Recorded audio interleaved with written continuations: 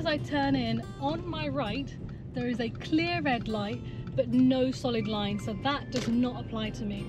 And you can see the traffic behind me, they're all coming through. So there's a green light here, and then, the, and then the second set of traffic lights looks like they're not working, but in fact, they're green. Hiya guys, welcome back to Clearview Driving. My name is Aman and today's video is all about traffic lights. Now last week I posted a video with Erin on her driving lesson where she stopped at a red light and I was telling her to continue through. Now that did cause a lot of confusion in the comments because there were learner drivers and experienced drivers questioning what we needed to do, who that traffic light was for and how to avoid situations like that on your test. It was even picked up by various news articles where people just weren't sure whether or not we were meant to stop there. So what I'm going to be doing is I'm going to be showing you guys how to approach junctions like that and avoid making any mistakes. If you guys enjoy watching my content, don't forget to give it a thumbs up, comment down below and subscribe if you haven't already. And I also want to say a massive thank you to everyone that has subscribed. I really appreciate you guys. Lots of love. Or this one, I don't really know how to do this one. I'm old school. So a quick golden rule when it comes to dealing with red lights like this is never stop for a red light where there's no solid line on the floor. It means you're already in the junction and that traffic light doesn't apply to you. The only exception to this would be temporary roadworks where they don't paint the white line but they put that red signboard which says stop here. So we're going to get started.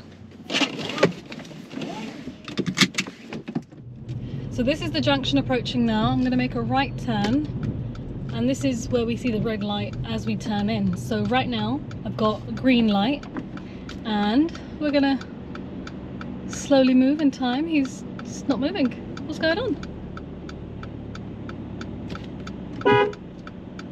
Give him a little hoot but there you go go oh, now the lights go red.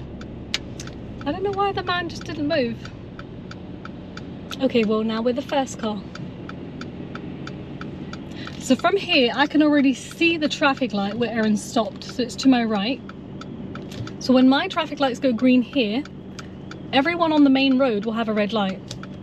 Now I do have a van behind me as I make this turn and if I end up stopping in the middle like Erin did, the van could easily crash into the back of my car because they're not expecting to stop.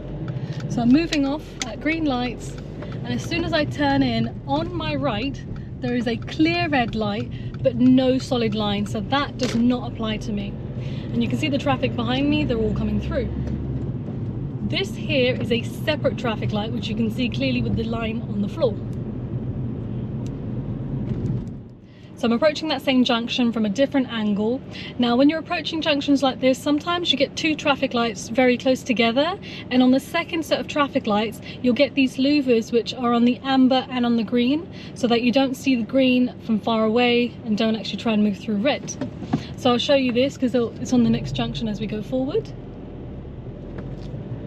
So I'm now going to make a right turn at this junction and you can already see them from here actually. So here we've got an example of two traffic lights very close together and on the second set of traffic lights you've got the louvers on the amber and the green so I can't actually see them from this position but I can see the red. So if I was to move through this junction but I go, go forward up there and it's still red I can still stop because there's a solid line. So I'm going to make a right turn here and you can see the solid line clearly here. And I'm going to go into position behind this black car but I'm not going to be able to go into the middle just yet. So now that I'm in the junction, even if the traffic light ahead goes red, I need to clear the space, provided the road ahead is clear. So I'm gonna go forward and the light is going red and I'm gonna clear the junction. And here we are. So now along this road, I've got a series of traffic lights, one after the other. So here we've got the solid line, which is where I've stopped, and I can see the traffic light present ahead, and at that point, there's no solid line, so the junction's quite wide. So you'll see the vans turning in from the side road, and he can see the red light, and again, he will not stop there because he's in the junction. So as I move forward, there's actually two traffic lights very close together again, so you get to see the example of the um, louvers again. So there's a green light here, and then, the, and then the second set of traffic lights looks like they're not working but in fact they're green. But if they were red I could see it from far away because the red is not covered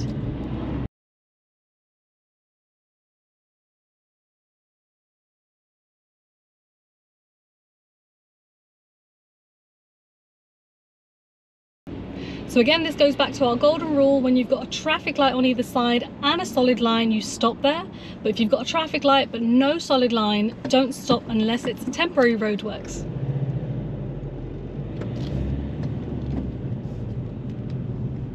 So I'm making a right turn here.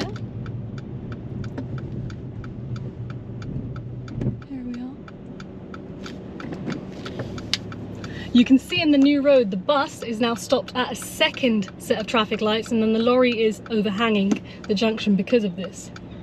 So this is where um, sometimes people would say that the road's been designed badly, but actually um, they have to put the traffic light there because pedestrians, if that traffic light was any further, they usually just cross the road where you know they can find it convenient so that's why they have to put the junction there so the crossing there as you can see there's a lot going on and as I'm turning right at this junction I'm also watching the traffic ahead. Provided there's no one ahead I can turn in. So lights are green we move forward. Black car in front is not moving so I'm turning and as I'm turning red light here and then a green light. But if there somebody had pressed the uh, button for the pedestrians then that would also be red as I turn in. So this time I'm going to make a right turn in here so going forward, lights are green, I can see the arrows painted, so I'm going to travel up, doing an offside turn with the traffic opposite, go up to about my arrow. There we go, I can see it's clear behind him, so I'm going to make this turn, and here we are. So I'm approaching the traffic lights to make another right turn. I feel like the road marking's completely faded here. Couldn't actually see my stop line. Oh. So I'm turning right. So I'm going to go for a really wide turn and wait in the middle because this van is there. And as I turn in, I'm going to go into the left-hand lane. Now this traffic light is for me because there is a clear solid line. And now it's green, I can move on through and you can see this traffic light changed at the exact same, same time because it was for me but just slightly further and that's the one that Erin stopped at. So that's who the traffic light was for. So you'll always see the traffic light either side solid line and then you have the repeat traffic light which is slightly further. Now if this changes to red I do not stop as I'm in the junction. And again same here, traffic light either side, stop line. But this is a separate traffic light because there is a solid line on this one but again it was green and I can see it when I'm closer. And that's where you've got the um, louvers I was talking about earlier. The little blinds on the uh, amber and red. Okay lights go green.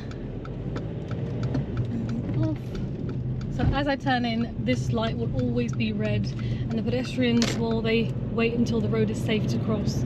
But if they're already in the road then obviously I would wait for them so on the right hand side is where Erin stopped when she noticed the red light. As you can see, there is no solid line, so that means that that traffic light does not apply to you as you're continuing through. And in terms of the pedestrians, they simply look either way to cross the road safely.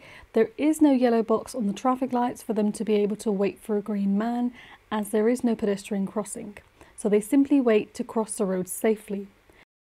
Now from this angle you can see the traffic light starts changing to red and the traffic that's already in the junction has to continue through. So there's no solid line telling them they need to wait here.